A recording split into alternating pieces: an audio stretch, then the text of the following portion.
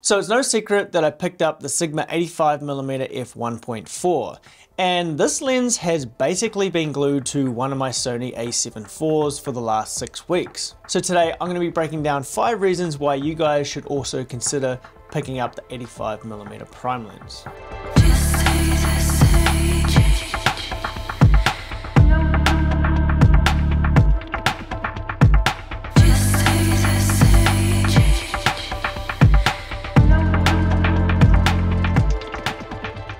In this video, I'll be talking about full frame terms. So that's an 85mm for a full frame camera.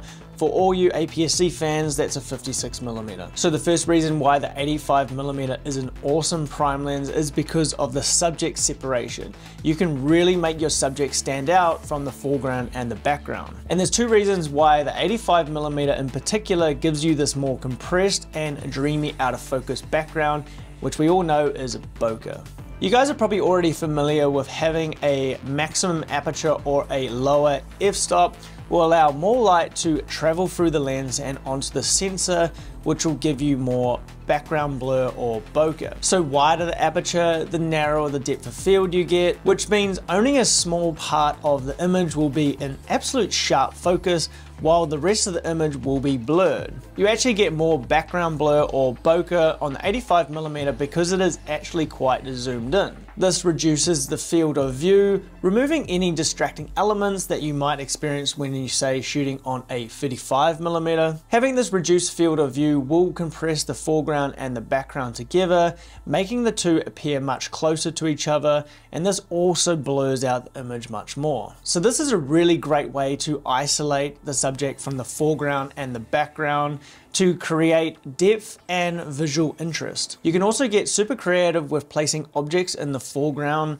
like leaves and glass and actually shooting through these objects. This increases the amount of depth that you have in your image and because they're completely blurred out, they're not distracting at all. So it's no secret that 85mm is a great portrait lens.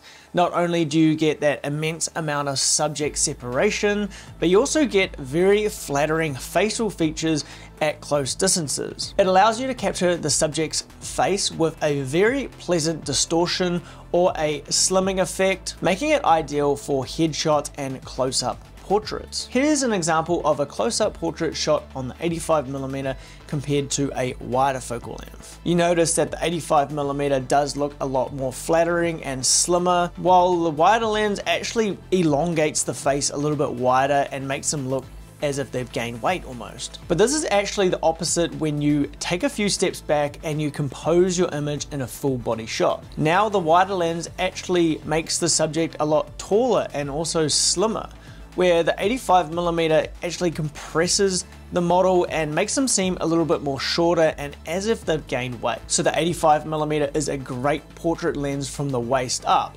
It's not really the most versatile portrait lens as it is really only reserved for headshot photography. Generally wider lenses are better for full body shots, but breaking all of these rules can give you some really interesting images and I really encourage breaking all of these very traditional and old outdated photography rules. So for portrait photography, the 85mm works great, especially when you pair it with a wider lens. My personal go-to setup is the Sigma 24-70 along with the Sigma 85mm f1.4. 85mm are sharp, like really sharp. And this is for all manufacturers. For some reason, the 85mm prime lens is sharper out of all of the different focal lengths, that being prime lenses and zoom lenses. Here's a graph from the website DxO Mark. The 85mm is right at the top for sharpness. You also get a very minimal amount of distortion and vignette, and also chromatic aberration on the 85mm. And there's nothing we can do about this. This is just basically physics and how an 85mm is grouped grouped together with its different lens elements. You can even see that the OG 85mm Sigma art lens is at the top of this list. I have the new version which is the DGDN, the DN standing for digital native. It has the same optical elements but it has been redesigned for mirrorless cameras to make it a lot smaller and the autofocus is a lot quieter and faster and way more accurate. If you guys are keen to check out this 85mm, I will leave an Amazon link down below. So out of all of the different prime lenses, the 85mm is definitely the most compact. They're a lot shorter and also a little bit lighter than say like a 24mm or a 50mm. And they're definitely a lot smaller than say a 70 to 200 f2.8. So this is making it a lot easier to carry around in your camera bag. And for all of you APS-C fans, check out this Sigma 56mm f1.4. This lens is tiny and I pretty much take this lens everywhere with me if I'm not doing client work. Even though this is an APS-C lens in the crop mode on the Sony a7 IV, this lets in much more light than my 70 to 180 at f2.8. So my fifth and final reason why the 85mm is an awesome lens is because it's just fun. It limits you to one focal length so you really have to think in focal lengths which will require you to move around a lot to recompose your subject subject. On the 70 to 200, I just find that I end up zooming too much on that lens and I really do find that 85mm for a lot of situations is really the sweet spot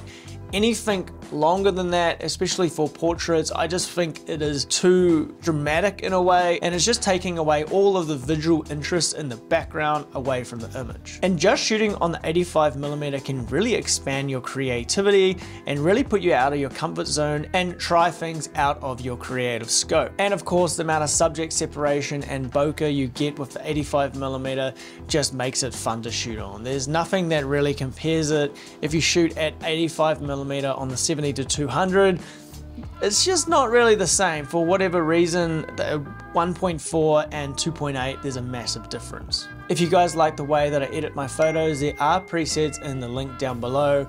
Also, I use my LUTs to color grade my videos. If you're considering picking up the 85mm prime lens, I will leave a link down in the description down below. And if you are interested in this 56mm f1.4 lens from Sigma, you guys can check out this full review that I made a while ago. Otherwise, I hope you guys subscribe, check out my other videos, and we'll see you next time.